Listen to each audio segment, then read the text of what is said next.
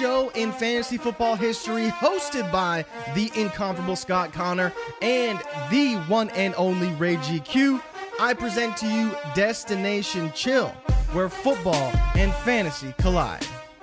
G E G P. Welcome in. It is Sunday night, April 7th, 2024. Y'all decided to tap in with myself, and y'all know who it is, man. My co host, my dog, my friend, my business partner, my brother from another mother, Scott Conner. You can find him on X at Charles Chill FFB. You can get at me at Ray GQ. Destination Chill, the place where we come every Sunday night to hang out with y'all, chill, relax, talk some football. A lot to talk about, Scott. We are a mere few days away from the 2024 NFL draft. My friend, I know you're excited about that. Getting a little bit closer. And we got the eclipse tomorrow, baby. The lunar, solar, I don't know which one it is, but the eclipse is coming through Dallas, Texas. So kids are out of school tomorrow, man. So I just want to have a good, chill, fun show with you before this uh, once in a generation opportunity. How you doing tonight, my friend?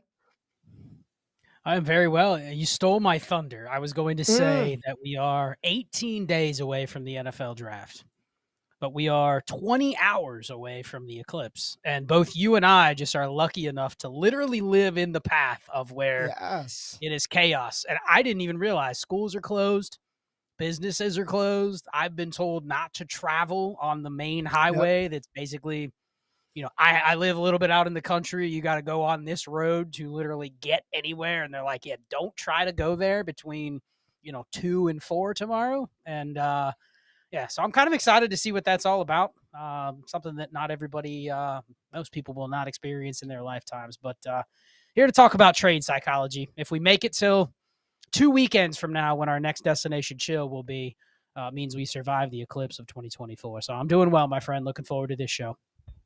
Yeah, I heard some wild things about this eclipse, man. It's like Y2K level conspiracy. Scott, we are old enough to remember like living through Y2K, the countdown from 99 to 2000. And the, the, it was going to be like Terminator, T1000s everywhere. Bank accounts were going to mess up. Some wild theories out there about this old eclipse and black holes and some other wild shit. But yes, we got to talk fantasy football and more so the trade, some trade advice, strategies, and tips, especially at this point in the process, Scott. Being so close to the draft, you're seeing a bunch of different things come out. Certain teams 100% guaranteed taking this player, other players with character concerns, and you got a lot of people talking about cutoff points in the 24 NFL draft class. I don't want nothing after 108, 109. Trade, trade, trade. Trade Rashee Rice. Trade this player. Trade Justin Fields. We always talk about for what? Who are you trading them for? You can't just throw out trade this player without giving some actual context behind what you would try to get in return, how you would try to make that move. But a lot of the things that we see are like, oh, trade Fields for a first, trade Rashee Rice for a second.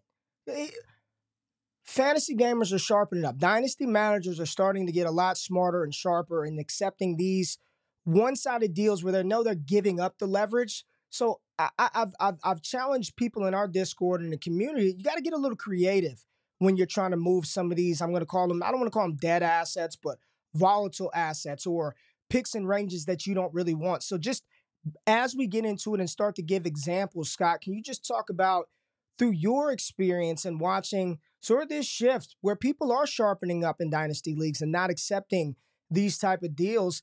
How has that made it easier or more difficult for people to manage and navigate that in leagues? Well, I mean, I think the first thing is more people are coming into Dynasty. They're newer players, but they're not the same type of players that would have come into the leagues even five years ago. They're players that are already coming from, a lot of them are probably coming from underdog. A lot of them are coming from places where they're a little sharper than your casual, hey, let's all get together and try a Dynasty league. I mean, you don't know how many people come to me and say, oh, this is my first year in Dynasty. I converted my home league into a Dynasty league, or I took everybody from my home league and we started a Dynasty league because that's everything that's popular now but nobody knows how to react. Nobody knows what a draft looks like. Nobody knows what a draft pick is lo- is like. And so when you find yourself in one of those situations, it's the wild, wild west early on. Everybody's probably being real apprehensive to make a move. Nobody really will tell you what something is valued as. It's just, I'm scared to make the first big move, right? But then you have another sector of dynasty managers that are coming in, and it's don't care about the draft picks Give me everything right now. It's reactionary. It's what is going on today on April 7th. Nothing else matters. Not even thinking that far into the future. It's let's get it done today. So trying to reconcile what your league is between those two and just the mixture of a bunch of leagues that I'm in that have just started. Ray, I have a bunch of leagues that have been around five plus years. They're totally different. I know which ones I can go throw a shit player on the block and might get an offer. I know the other ones where if I go and put Sean Tucker on the block, Tank Bigsby on the block, they're going to go, okay, yeah, I'm sure I'll take him for free, but I'm not giving you anything. So if my motivation is to make a move in one of those leagues, you do have to be creative. And I think you have narratives out there now of, you know, everyone's so sure about what's going to happen in this class and what these picks are worth. And yet you go to your league and you'll go, man, I don't know. I don't know what these picks are worth when I go and shop them in my league because they're sharp. Someone sent me an offer today. They send me an offer of the 111 for my DeVonta Smith. Right. That's a deal. In some leagues, someone would go, man, DeVonta Smith doesn't have much upside, Ray. We could go through a mock right now, and you could probably sell me on how the player at 111 has more hopium slash future possible value or flexibility, right? Could be a quarterback, yep. could be a running back, could be a receiver, but I'm giving you DeVonta Smith, who's just a steadfast wide receiver 15.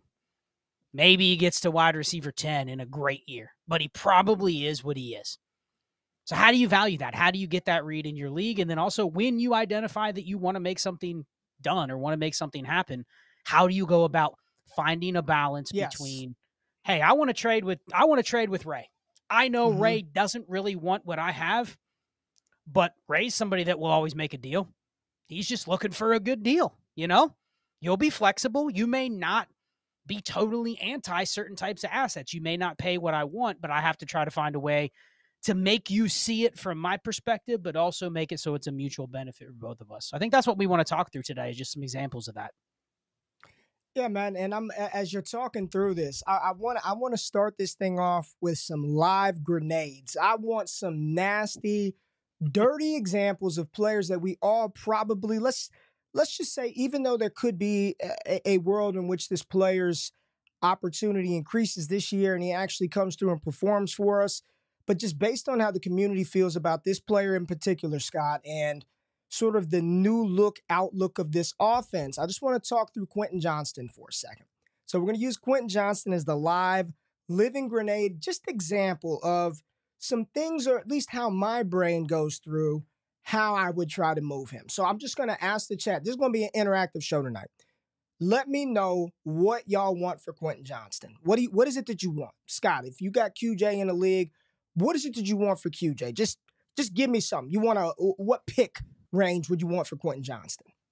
QJ, what pick you want? If you can get out of him, just you're not trying to bake in what he could become in six months. Just you want out on QJ. What are you willing to accept right now? Ideally, I would probably look for anything that has a second in front of it, but I know I'm probably not getting that this year nor next year. So can I take advantage of somebody that's willing to trade one from two years out?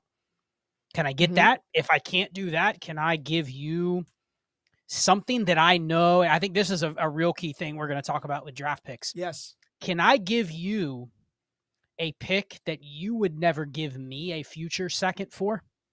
But can I throw QJ in and package them together? Can I make mm-hmm. it seem like you're getting the leverage? You already threw that word out there, so I'll continue with it. Can I give you the 303 and Quentin Johnston and get a 25 second? Right? The 303 is a pick probably on the clock. It's going to be either valuable to somebody who wants a certain player or it's going to be I'm forced to make the pick. Especially if you don't have time to sit there league after league after league and grind. I mean, how many times are you able to sit there on the clock for two hours and grind those trades for those thirds, Ray? Or do you just go, right. hey, Ray, Ray G's on the clock, go hit draft? You know what I mean? We right. we sit there right. and say, oh yeah, maximize the value of those picks until you're in 24 drafts and you're going, oh man, I'm gonna have a lot of picks. I don't have time to maximize those. So can I take one of those picks? And for me, as somebody that's in almost 50 leagues, that saves me time. That's a pick I don't have to worry about getting pinged on the clock on a random Wednesday at three o'clock when I'm doing other things, I can alleviate and kill two birds with one stone by moving that 303 and QJ. Can I get a future second? And Okay. I think that the Okay. optics of that right. makes the other person think, okay, I got a decent deal with some upside. So that would be a good example of what I'd look for if I can't get a second straight up. Well, well, well, let's talk about that right there. What you just said, because most people, I, I can, I'm looking at the chat, I'm reading like 212, 301, any second, early third, Zach Moss, sort of the equivalent of a second round pick. No doubt about it. You get an inbox offer and then you are receiving a second round pick for your QJ. I don't care if it's start nine, start 10, super flex, single quarterback, tight end premium. Everybody is smashing accept on that. But the likelihood that that offer is going to find you probably slim to none outside of the season starting and him smashing. So when I sit back and people ask me, Ray, I'm I'm trying to move Quentin Johnston. I'm trying to move Marvin Mims. I'm trying to move another asset that we feel is a crashing stock, but nobody will accept it. I, I think for a lot of times people are like, that's what I want. I want the second. I want that 301. And if that offer doesn't come, I think what what I'm okay with and what I've found very successful is you've got to give it, it- it's a negotiation that's going on in a trade, right? Scott, we're talking about the art of getting a deal done.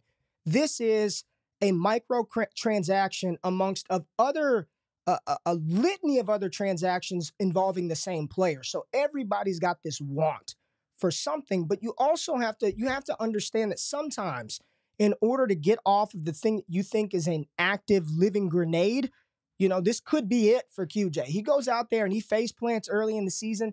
The value's done. Put him in the same camp as Josh Doctson, Jalen Reagor, any failed wide receiver of the past. So for me, what's your motivation? Is the motivation getting a second round pick, or are you more motivated to get off of this player? And if you're motivated to get off the player, then for me, it's okay if I've got to pay you 105 to make the dollar, right? I've got to give you five, I got to give you 10 cents more just to get off of that one thing. I'm okay with losing the deal. So, what I want to show you are a couple of deals. Because what if I told you, Scott, you can get that second round pick and you can get a 24 second and Calvin Ridley for your QJ? Would you be interested in that? I mean, come on. Just, just yes, right? Just this is a come on. Come on. Would you be interested? But you would have to give up your Amari Cooper, and I'll kick back a Darius Slayton in return. You know, that, that's what I'm t- right. If you are motivated to get off of them, that is a way. If I told you you can get off of QJ and get a second round pick in 24 and Calvin Ridley, but you've got to pay an Amari Cooper, like that. th- These are how things get done. So I'm going to pull up some trades that have happened in various leagues over the past couple of days. So let's just take a look at some QJ deals and let's talk through the psychology of offering these in order to move off of an asset that you don't want, Scott. So keep keep that framework of the conversation in mind as we take a look at some of these QJ deals that have transpired over the past couple of days. So let's just start right here at the top. Got Quentin Johnston, Tony Pollard, and a 2025 third round pick. Other side getting two seconds, one in 25 and one in 2024. The one that I just talked about, you see a couple of uh, couple of trades down, QJ and Amari Cooper for a 24 second, Calvin Ridley and Darius Slayton. And the one right above that, Quentin Johnston and Kyler Murray for Jordan Love in a 26 second. There, there are ways, but I think most of the times, and you do a you do a really good job of this, Scott, especially when you're talking about leagues where some teams have three stud quarterbacks. They want to you want to sell the shitty one. You don't want to sell your Jalen Hurts or your Lamar Jackson. You want to get rid of QB3 Will Levis. You're trying to dump, you you want to dump Brock Purdy. But what you may have to stretch your mind to is maybe I can roll with Purdy and then double up on value with the Jalen Hurts, with the Lamar Jackson, right? So just in talking about getting off of a live asset, talk about even some of these deals we see for QJ paying a little bit in order to move off of the thing that you that you want to get off of, right? Yeah, and I think the the first thing to mention is that we're to you look at most of these deals. I mean, sure, there's a couple in here where it's just QJ, 26 second, QJ, 24 second. We're assuming that when you're trying to move somebody like QJ, you've already gone through and put it in the chat. Hey, any second in the next three years gets him. Yes. Nobody sent it to you. You've spammed it. Nobody's accepted it. So you've exhausted those efforts to get the price that you want. Uh, here's a very common mistake that people make they look up on Keep Trade Cut or whatever trade calculator they use and they go, okay, Quentin Johnston, this is his value. You go on KTC, it's a late second, it's a mid 26 second. When you can't get that, what do people do, Ray? I'm a hold.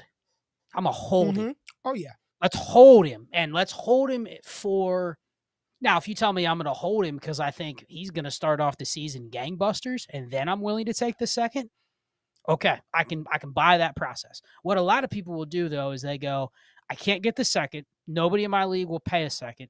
I'm going to hold. Then you go, well, why are you holding? Well, because no one will pay me what I want. Yes. You know, this isn't your house.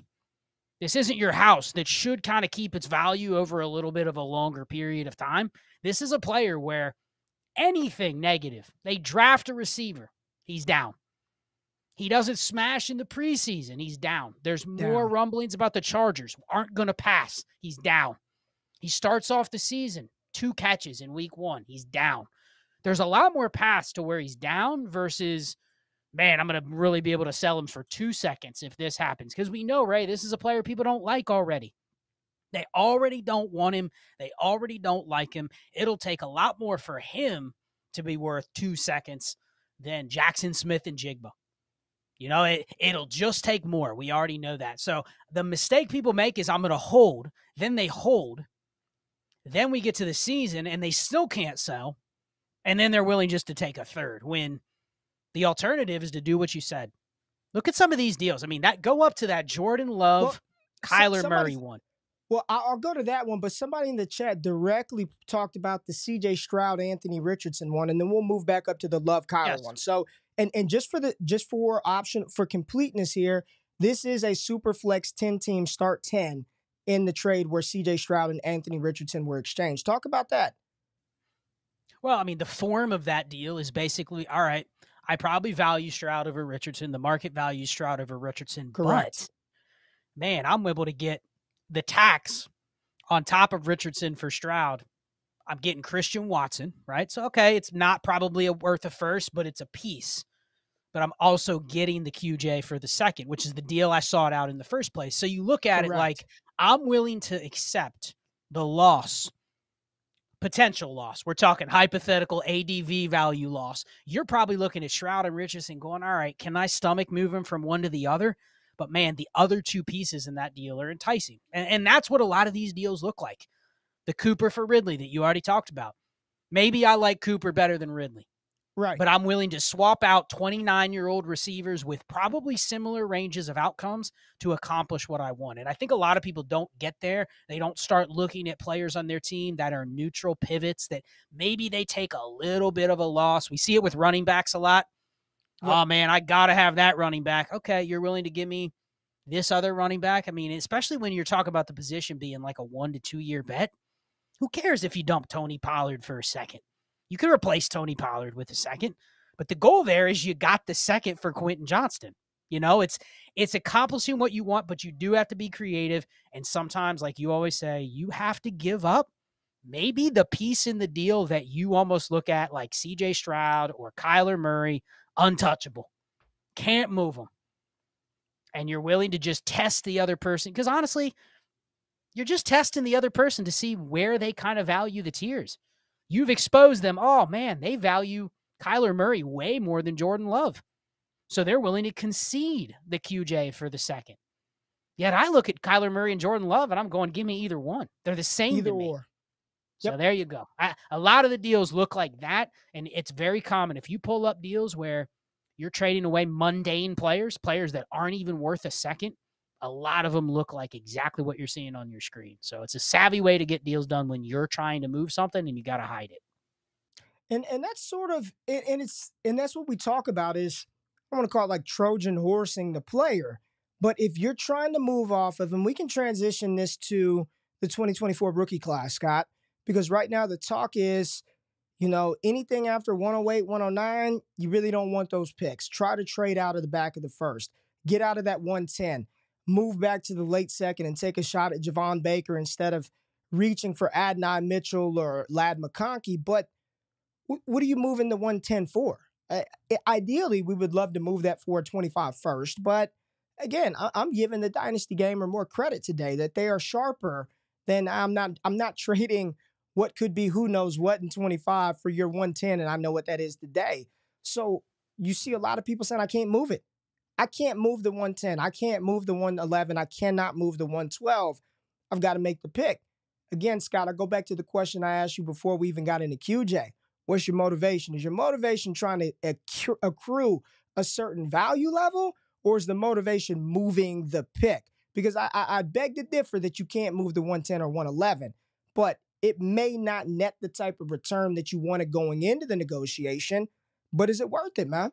That's that's really the is it worth losing 10 cents on that dollar in order just to get out? Like, is it is it really worth that, or should I just make the damn pick? Well, let me ask you it in reverse as somebody that is receiving the offer. Let's okay. say, because that, that is a very plus EV move. If you can move a 110, 111, 112 for a future first where you look at the manager and you look at the team and you go, Ugh.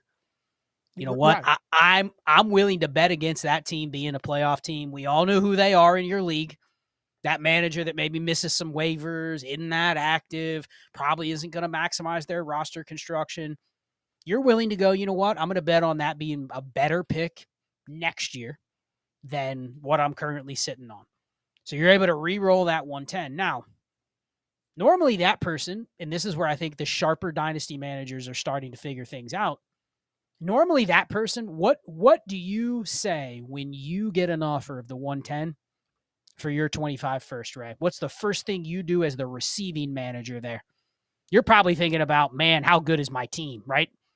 Mm-hmm. How good is that 10 how good is that 110 relative to my roster? If it's the team you just blew up last week, that's probably why you're getting the offer, right? The person says, "Oh man, Ray's team sucks. Let's see if he'll he'll send me that future first for that 110." So the optics, what are the optics of that deal when you get that trade? You know exactly what they're trying to do, right? You they're scared of picking that 110. They don't they want to get out of that 110. They don't like what it looks like they're going to be able to get. So they're trying to get your first, and they've probably vetted your first a couple with a couple other teams, and sent that same offer to one or two other teams in the same spot. Can I get out for that pick? So, so how do you counter if you're on the other side and you ask them, "What's your motivation here?" Now I'm going to switch roles. You're the sender. Will you just tell that person straight up, "My goal is trying to get out of this 110 for your 25 first?" and let them acknowledge that maybe that 110 isn't as valuable as their first, but let them maybe find a creative way to go, okay, Ray, will you toss in that Roschon Johnson? Now, you probably no. wouldn't even have thought Roschon no. Johnson would have been enough. But will you mm. let them come back to you? Do, do you do you tell them exactly what your motivation is, or do you do, no, you go look for another offer to send? If I'm trying to move the 110 and I've got a piece like Roschon Johnson on my team. I'll send it in the first. I'll send it off a rep. I'm look. I'm. Here's my thing. I know that if I come to you for if I have the 110 and I send that to you for your 25 first, it's an auto decline. I, I just I, am going to make the same assumption that you're probably thinking thinking the same thing that I am. That I, I'm not paying this 25 first for this 110. So what I'm doing off the rip, dude, is I'm sending you. I'm not sending you just Roschon Johnson. I'm gonna give you a slice of that Marvin Mims with that 110 while while I'm at it. I'm using that same youthful philosophy with hopeful magic being upside here in 2024, and I'm sending you both of those guys and the 110 for that 25 first and a third round pick in 2024. Just give me that three that 308. I, I want you to feel so good about the offer that you're getting for players that I really don't give a shit about that there's little negotiation back and forth. I'm looking at some picks right now for the 110. Scott. In a super flex 12 team PPR league, pretty standard stuff. You can move your 110. And let's just assume all the other stuff. You need a quarterback, whatever, maybe you don't. But you've got a chance to acquire Jordan Love. And what you must give up, Scott Conner, is that 110, Josh Jacobs and Russell Wilson. Would you do that deal? Is that a deal that you would entertain? Moving those, letting that go for Jordan Love. Because for me, it's a no brainer. Give me Jordan Love. Even if that was all I got back, you throw in a third. Sure, I'd ask for the 311 because that's what I'm going to do. I'm going to ask for the 311 back. I'll ask for a 25 third with that Jordan Love. But these are the type of things that you see. And I'm pulling up a real deal. These these are trades that have been accomplished for the 110 over the past couple of days. Now, you don't see a ton of them one for one, but the ones that you do, they're, they're pretty good players. Like in what world would I rather have the 110 over De'Von Achane? Hell, In Nico what world Collins would someone give me the 105 and Isaiah Pacheco for the 110? What is that? That's gotta be a typo. That, that's got. I, I, don't ask me, man. I don't know, but there's a lot of value going the other way. But skip Oh, that. man. But the point is, look at this, man. T. Higgins. Now I don't know if I'd want T. Higgins that damn bad, but there are ways to package up pieces to move off of the thing. And again, I think regardless of what the compensation is, I think the most important part is what is your motivation. What's your motivation? Is your motivation to get max value for Austin Ekeler? Is your motivation just to get the hell off of this and get anything that I can get? I just want something before it goes to nothing. If you've got that belief, and I'm not saying Austin Ekeler is going to go to zero, but what's your motivation? Do you really want to trade off of the 110? Do you want to move? People say they can't move the 101. Bullshit. You can. I guarantee you there are ways that you can package up assets that you have in order to move that pick and probably get a haul in return. But it's truly thinking, I think it's outside of the box. And so many times, you know who we don't want to give up, Scott? Ah, man, I just, I can't move Jayden Reed. Ah, young, I, I can't move him. You know, I don't want to give up Jayden Reed. Uh, You know, ah, Tank Dell, I can't move Tank Dell. Don't want to move De'Von Achane. And I think that barrier right there, having that blockade for players that you don't want to move, it, it just kind of limits the opportunity that you have to find a partner to get a deal done. Yeah, I think the main motivation here is you come into the deal with a with a idea. You've gone through, if you've looked at your picks, you've looked at your roster, you've gone, I have that 110. Now, is right now the best time to move the 110? Maybe, maybe not. I think it's hit or miss. You can argue there's going to be a better window. You can also argue, you know, I don't agree with the best time to move picks is on the clock. The best time to move either. some picks is on the clock. Other picks, when everybody already knows what they are, you can't get anything. You would have been better moving it in March because it's still an ambiguous tier that people aren't sure of. For me, Ray, the goal when I go through, because I have a large number of teams, I track all my picks. I don't have time to really grind one league more than maybe 10, 15 Right. minutes at a time. So I'll go through and I go, all right, I have the 110. Let me see what I can get done. And sometimes it'll be based on, okay, how many how many of these damn picks do I have at 110? I mean, this year, I'm just looking, I have seven 110s this year. So I should literally be looking at that list for some ideas of ways I can dump some 110s because I certainly don't want to make all seven of those picks. But I probably should be focused on I want to get the other manager to somehow, when we leave the interaction, to also be interested in doing a deal involving the 110. What does that look Right. like? Let let them decline the first deal. I mean, a lot of those deals on there, Rashee Rice for the 110, Jayden Reed for the 110. You and I are going to decline a deal on either side of that, unless it's just like, all right, I'll take it. But most of the time, if you send me a one for one, the optics of that are just likely not going to get done unless the other person they want heads and you want tails. And sometimes those work, but a lot of times they don't, especially if you have people that are going, Oh, I know exactly what Scott's trying to do by sending me this 110. I'm not going to bail him out. So I think it's getting the other manager to almost tell you what they're willing to do. Even if the deal doesn't work out, there's nothing better than them coming back to you going, ah, maybe if you add that Tank Bigsby and maybe a future third, I'll be willing to send that 25 first with that 110. And then right there, you've got them. Now you have to be willing to do it if you didn't already send the original offer, but you won the deal because now you know where they stand on that price. And you now can choose to accept it or decline it. And the whole thing was your idea to begin with. I- I've now put it in their head that they can get the 110 and maybe they can get a little bit of a discount. It's like draping that 15% off coupon in the mail. You may have never been willing to go to that store until you get that coupon. Now ah, we got to check that store out, man. We got to see what they have because I got this coupon. I know we got to spend a hundred bucks, but hey, you know we'll get hundred dollars worth of stuff for eighty-five bucks if we go there. But you would have never gone to that store in the first place. No one would have sent you an offer for that pick or that asset. So I think it's leaving the trade negotiations with that in mind. And if you get that result, you're going to be a successful trader. All right. We got a challenge, Scott. There was a there was a name that was invoked in the chat, and I think this is a great exercise, right? So I, I wish we had a hypothetical team, but what I'm going to do is I'm going to control it on the back end, and you're going to imagine this is sort of your team, and would you be willing or comfortable, Scott, based on points per game, war, whatever you want? Would you be comfortable moving these assets in a deal to get rid of this player? And the player name that was invoked, Scott, and I gotta get time. I gotta get the timestamp. I'm timestamping this because the people hate when we don't freaking do it. Treylon Burks. Treylon Burks is the name that was invoked in the chat. Now, Scott, if I just ask you right now, you try to move Treylon Burks, you put here's what people do: they go put Treylon on the block in their league, right? Treylon Burks on the block. Oh yeah, that's that's really gonna get the juices going from your league mates. You throw that Burks on the block, people are coming, people come looking. But here's the thing, Scott you do that, I, I think it almost hurts you as the as the dynasty manager more more than it than it helps gauge enthusiasm and interest because now people know unequivocally you want to get rid of this player. You randomly on a Tuesday, ain't shit going on in the chat.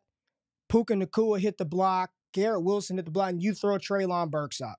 Like people know you want out of that asset.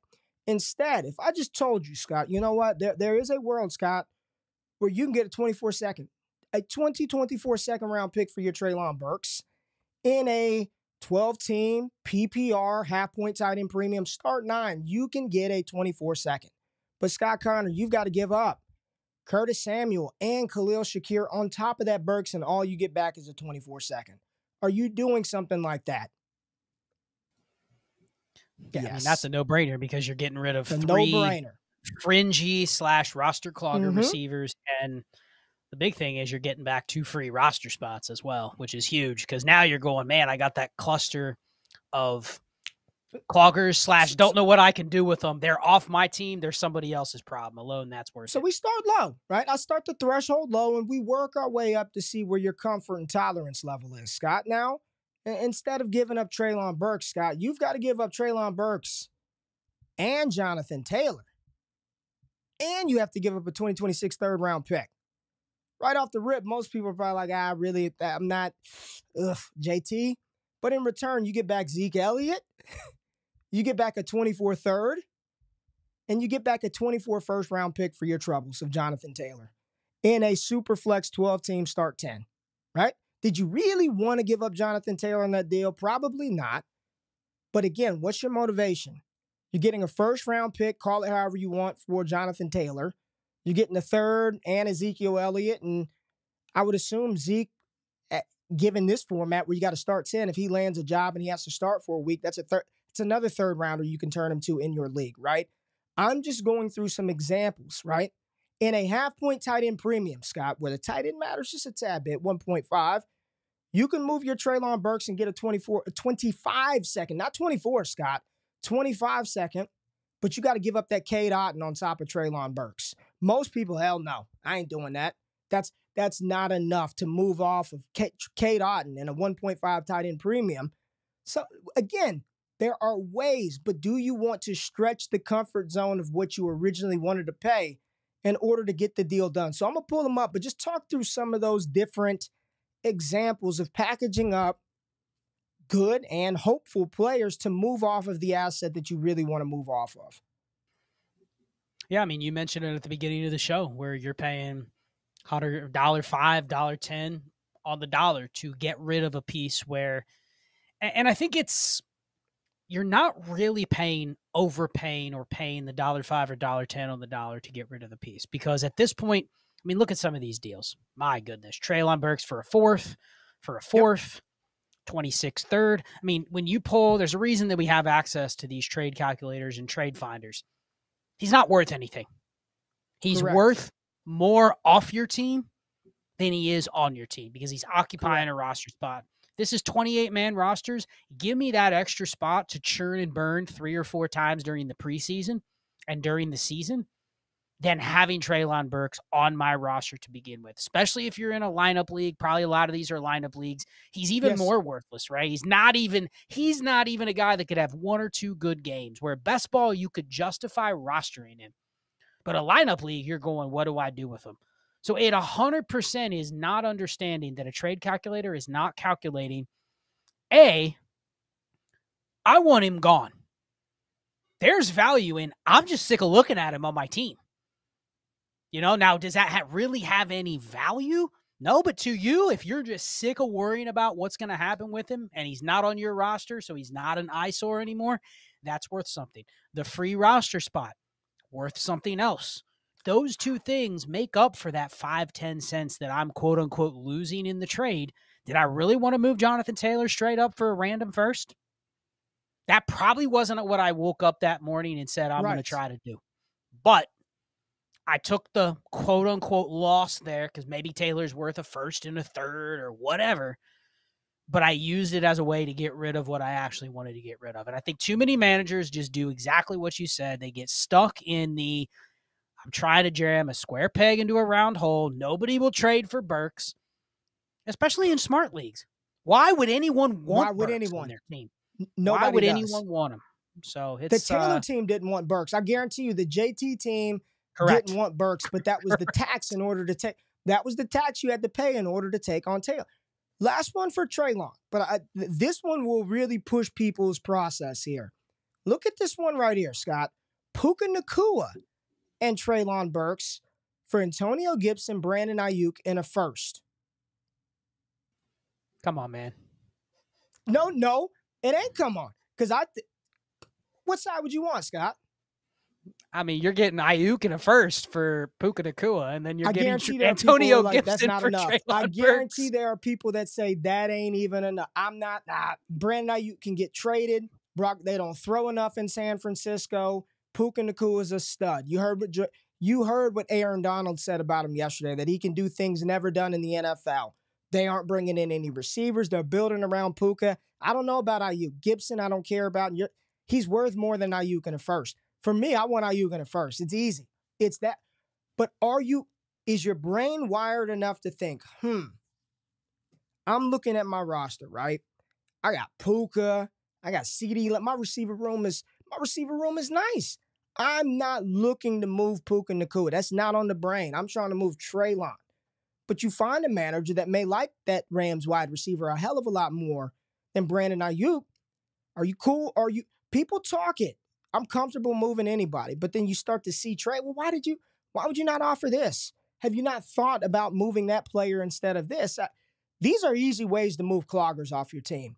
If you're comfortable with taking a tier down for whatever that's worth and acquiring some, if you're comfortable with doing that, I can almost guarantee you there is not a player in Dynasty that you cannot trade. Guarantee you. Now, sure, Corey Davis, J- like those guys, like, yes, no one wants them. Like, people are like, dude, I don't, but there's not a player you can't move. Quentin Johnston, Marvin Mims, wh- whomever it is. And you probably can even get back a little more in return than you thought. Just may have to stretch your way of thinking a little bit, Scott. Well, and there's a deal on there. We can't see what the picks they are for 2024, but that top deal, this is another one that I think before the rookie picks get made, this is a key one that I've been looking and trying to figure out if I can get some deals done where let's say Ray that is the 110 and the we'll say that's the 110 and the 203 with Burks. Okay? Which one? Which one are you talking about? This one at the, the top? The top the top deal. So it says Burks a 24 first yeah. and second for a 24 mm-hmm. first and second. So the, the people are probably looking at that going, well, that's a free Burks. But those are actually going to be numbered picks. We can't see what they are. But that, let's just say I'm giving you the 110, the 203, and Burks. You're giving me the 109, the 207 straight up. Right now, I, it looks like you're going to look at that deal and go, all right, I'm getting Burks for free. I'm going from the 109 to the 110. A lot of people will sniff that and go, ah, that's not that big of a difference. And I'm giving you four slots in the second round. And what was your goal? To get rid of Treylon Burks. And yeah, you had to move down those four slots from the 203 the to the 207. But you moved up. Uh, you also got a bonus of now I have the 109. And you know what the 109 can be? That's a ticks closer to the 107. The 106. You never know if there's another deal on the table. So finding creative ways like that, especially, I mean, really, if you're moving, let's say that was the 201 for the 210. Oh man, I can't give up nine slots in the second round. But again, you got moved up in the first, but you also got rid of Treylon Burks for some sort of value. You didn't get a third, you didn't get a fourth, but you got some sort of value, which was Correct. your goal going in. So I think looking at rookie picks, hell, we don't know what these tiers are going to look like, especially if you're dealing with. I've had some success this week moving some some seconds that I deem to be, man, right? Do I need nine copies of the 209? You know, I look at why do I yeah. have nine 209s? Yeah. So is there a way I can move some 209s for extra value in the future? I send them for a 25 second. Ah man, I don't know about that. A lot of people don't don't accept the future second. They don't want to give up a future second for a 209 because it's too late. Ah man, I don't know what's going to be there at the 209. Maybe on the clock, but you got to add something in, a tight end pivot. I made two pivots this week. Pat Freiermuth from Cole Kmet, Jake Ferguson to Pat Freiermuth. I'm getting Freiermuth in both. All I had to give up is Jake Ferguson and Cole Kmet. KTC rankings has those guys higher, but I was able to get off late seconds for future seconds, and I don't have to worry about that 212, 211, 210 on the clock. I've already gotten the future second, and all I did was tear off of a tight end for a tight end. It doesn't change my roster construction. I'm fine throwing Pat Freiermuth in the same spot I was sending Cole Kmet in. But I was able to mask it. That other person probably looked at it and go, man, Kmet's actually good. Freiermuth's not. And I go, okay, well, you gave me the, the future second for the 211. So that kind of deal kind of hid the value in the deal. I don't care about the tight end, but I guarantee that other manager had Freiermuth a tier below Cole Kmet. They thought they're getting the steal and they justified it in their head. Man, I'm I'm giving up a future second and I'm still getting back a second. And I'm getting the better player.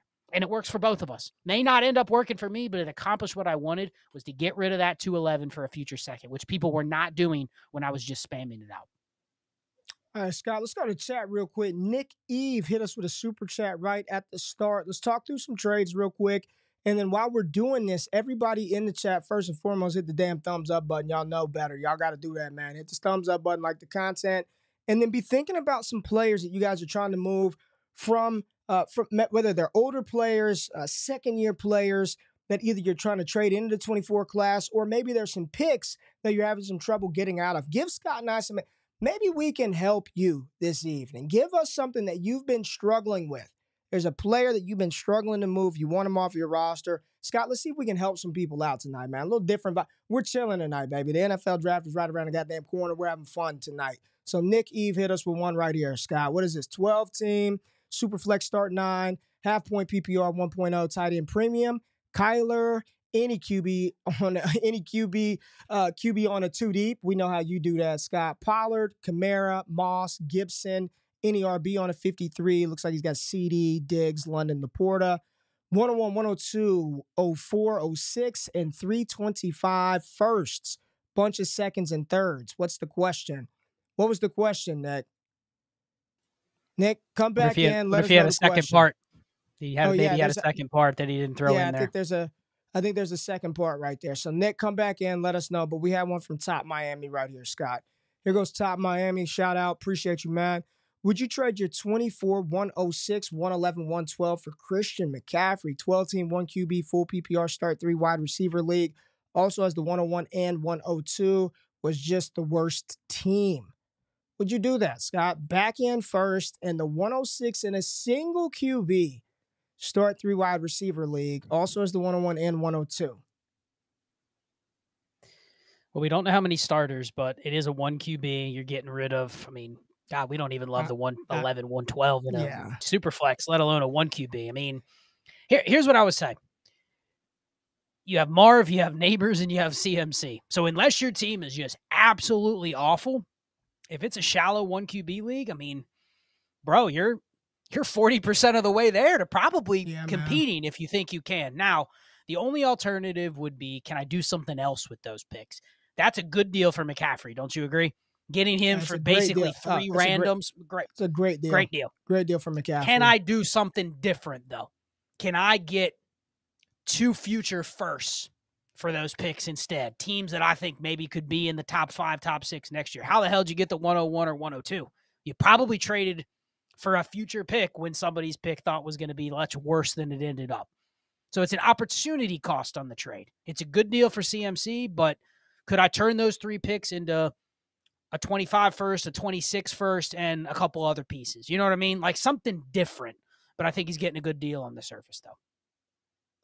All right, I got Nick's second part the next question. So let's pull it back up. And basically, this is what he was asking. He's got a bunch of stuff, and I'll give you the players if we need them. But he says uh, right here, I know I shouldn't be making all those first round picks this year. What kind of trade should I be making with those picks and still maintain flexibility for the future? Love you guys. So let's pull up his roster one more time. He's got a buttload of picks 101 damn near through 106, bunch of firsts in 2025 and seconds and thirds. Looks like he's got a decently uh, Kyler, Pollard, Kamara, Moss, Gibby, CD, Diggs, London, LaPorta. 12 team super I flex mean- start nine. Man, I mean, Ray, is, is there? I mean, I I'm always, I'm always good with trying to think about the future. But if there's a class and there's a pick range where I would go, I may I just make those four picks. I want him. might It's what he's got. All he has is Kyler. Yep. This is probably the class to take a shot on at least one QB, right?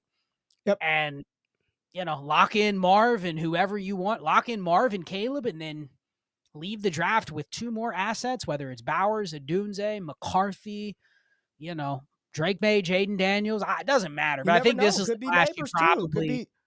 Yeah, I, I would make those picks. I'd be fine 101, 102, 104, 106, Scott. I'm fine making all six of those picks if I if I can move it, it would have to be something very good and something youthful enough. Not because I want to have them for the next 15 years of their career, but I want that flexibility and that liquidity of that. I, that's the dynasty game. I I don't want to make a deal and I'm getting back Mike Evans and Diontae Johnson. It would have to be something young, Garrett Wilson, Puka Nacua, one of those kind of players. But uh, Nick, honestly, appreciate the love, appreciate you watching the show. I'm good with making every one of them picks, Scott. I, I'm good. If I've got to press press play on 101, 102, 104, 106, I'm good. Well, and he's already got 325 firsts. So if it was a team where you said, I got these four picks, but I traded away all my future capital to get them, then I'm like, okay, I've already gotten lucky. I have the 101, I have the 102, and I have two other top six picks. Maybe one of those picks, four or six, you could justify moving for a future first plus. But I think in his case, he's already got three future firsts next year. So you already have the flexibility and the future capital locked down. Like this is the class probably to make those picks, and one of those two at the four or the six misses out. Big deal. You hit on probably three starters out of four picks. I mean, this is the class probably to take those picks in. So don't overthink Alright, it, Nick. You got this. I'm gonna give you some names, and we're gonna touch on a few to see just how we would try to move these players. Sean, I love you, but we ain't talking about Jalin Hyatt. I don't want to talk about trying to move Jalin Hyatt. There's not enough ROI on It- that anyway. we already talked about him with Marvin Mims, Quentin Johnston, Treylon yeah, Burks. Same same, in with those same guys. deal. So, do Yes. you want to go Jayden Reed, Christian Kirk, or do you want to go like a Kamara or Diggs? Do you want to go kind of younger? Or do you want to go older and talk about creative ways to move those assets? Because this is, I think, this is a helpful exercise. Is helping people construct deals, right? And that's what we. That was the conversation in the Discord that night. Was getting people to think outside the box on how to move some of those assets. So you want to go Jayden Reed, you want to go Christian Kirk. Uh, I think Kirk is who he is. Like Kirk is kind of who he is. No one's no one wants Kirk, so he's always going to be like in a package unless Well- somebody's like, "Yeah, I'll just give you a second for Kirk or two thirds for Christian Kirk." Then that's the reason I think we go with Christian Kirk. Okay. Because I eh, eh, let's say you have him on a team, right? And I offer you a 25 second, and we're both competitive teams. You're probably going to look at that offer and say he's worth more to my team than he is just to take a random second, right? You're probably yes. looking for leverage. You're looking for probably two seconds. And I'm going, he ain't worth two seconds. He's not worth Yep. the first. He's not worth two seconds. So how do you move a guy like Kirk, DeAndre Hopkins, some of those older receivers that the person that has them probably values them way more for the equity that they're doing for their team? How do you move those guys? Are you willing to move Christian Kirk for like a new Hopkins type. And you take the loss, but to you, you're probably going, I'm getting the same production. Is that a way where you'd be willing to to do that to get like a second to third upgrade? Like, is that how you move a guy like Kirk that's in the older, moderately productive receiver range? But like you said, he has really no demand outside of the team that already has him.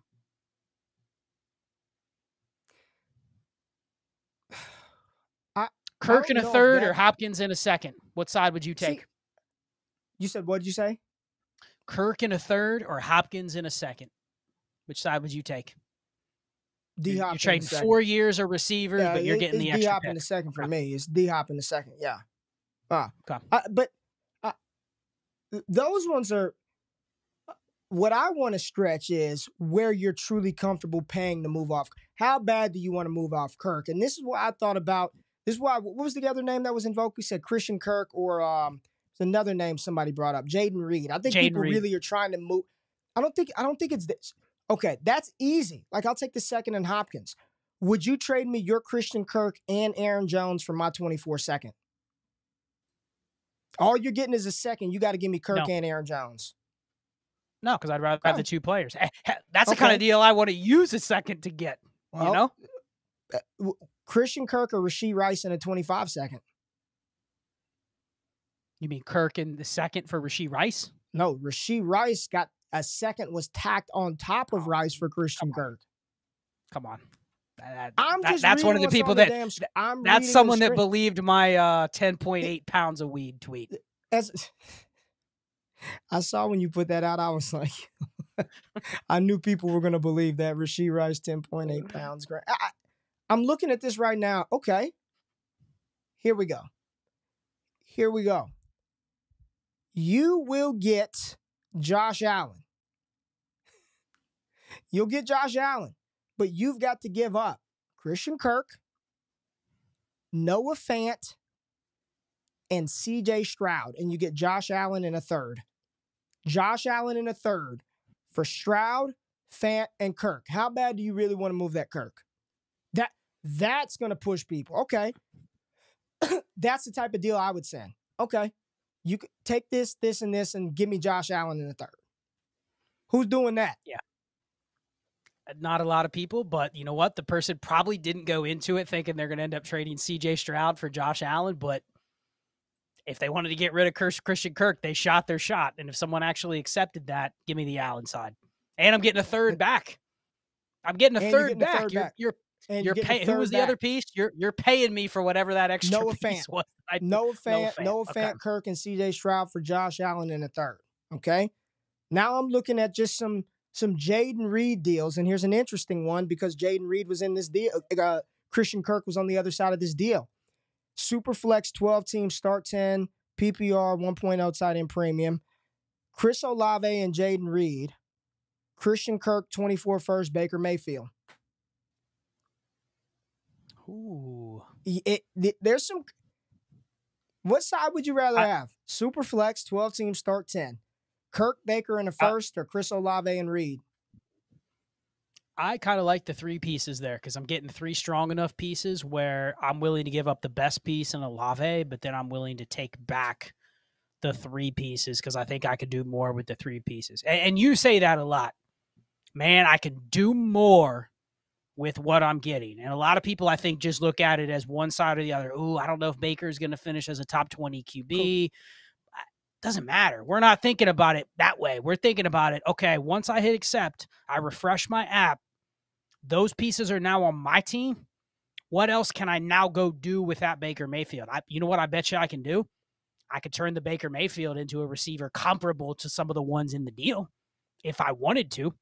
Correct. Maybe I could turn Baker into a couple picks. Maybe I could turn him into a running back. Like there's there's options for me, even if he's now my quarterback four. I'd still take that side just because I think there's more I can do with him. Not because it's the better value. Right. There's more right. I can do. Oof, Scott. Here's a good one, man. Here's a good one. Because people seem to want to move uh, move Jayden Reed.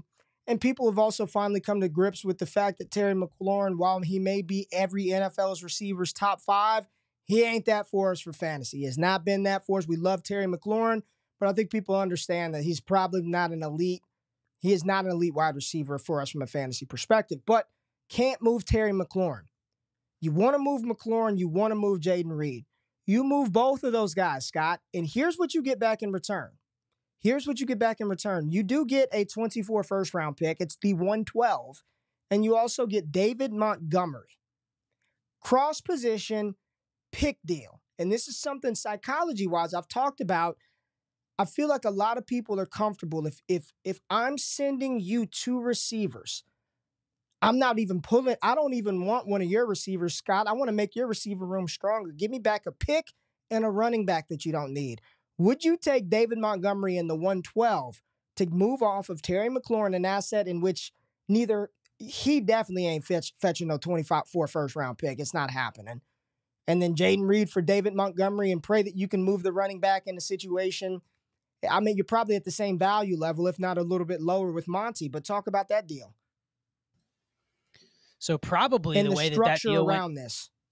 the way that that deal went down is I'm guessing the 112 was originally for Jayden Reed. And the person selling Jayden Reed is going, I I need more than the 112, right? So they're willing to kind of accept the other piece as all right, there's a small piece that I can get that I see as an upgrade. In this case, it's David Montgomery over Terry McLaurin.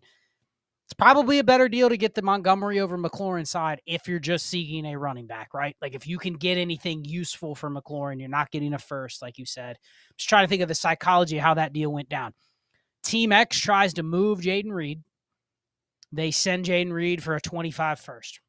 I send Right. Ray Reed for a 25 first. Ray declines. He's not giving me his 25 first. He knows that running back class next year. He counters. He offers me the 112 for Jayden Reed, right? Mhm. I go, ah, you know, ah, Jayden Reed was a hit. He was a hit. I can't re-roll. I don't want to re-roll. I need some leverage. So I ask you for Montgomery in the 112. You go, nah, that's too much for one receiver like Jayden Reed. Then you're willing to throw in McLaurin. That's probably how that deal got done. It probably wasn't just a two for two right off the rip. No. There was probably No some way. disagreement on the read versus the pick, and they settled on a cross positional deal. So I like that one. just some just interesting structures in order to get stuff done and that's what i wanted people to think about tonight don't tell me that you can't move you can move everybody can be traded i mean even even a treylon burks can be moved to the original point of this entire conversation scott i think people's motivations are different you know i think most of the times people want to win the deal they want to walk away feeling like they got a treasure trove of shit back whether that be picks players youth value, what ADV. They want to feel like they truly won some trade calculator. It will spit out green on their side, red on the other. When man, the real the real power in moving deadweight assets or assets that you feel are a sinking ship is the freedom and liberation of not having to deal with that asset if it does go to zero.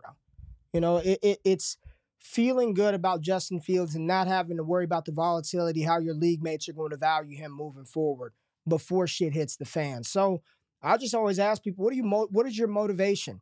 If you're truly trying to move the player, I guarantee if we did roster reviews for everybody in here and they tell us they've got an untradeable player, we can go through I guarantee you that a hundred percent guarantee we can structure deals within your rosters that you're holding on to things that you think is probably more valuable than the pr- production from a replacement level player that you can go find, whether that be on your own roster, on the, on waivers, or throughout other trades. So uh, that's sort of what I want to leave people with: is just think about the motivation. You trying to get off the asset, or you just trying to squeeze that that that orange for every drop of dru- juice that's left inside of it.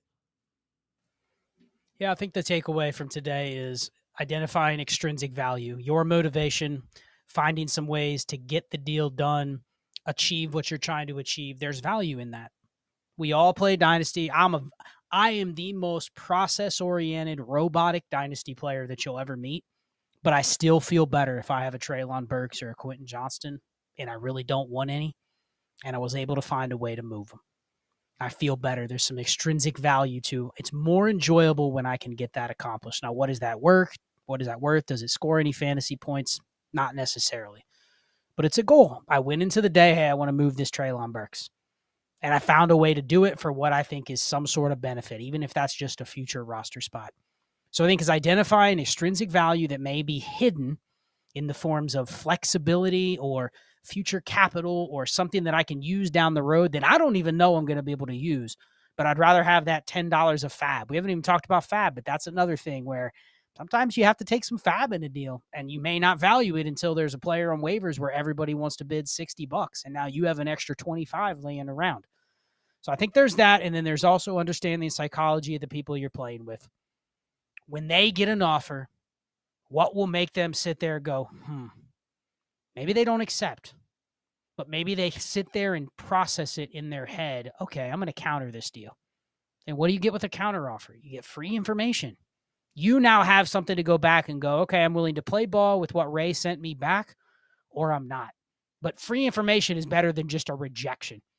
Nothing's more frustrating than you send offers to people reject, reject, reject, and you can't figure out what they're trying to do, but they still don't respond. So I think both of those things are super valuable to get deals done.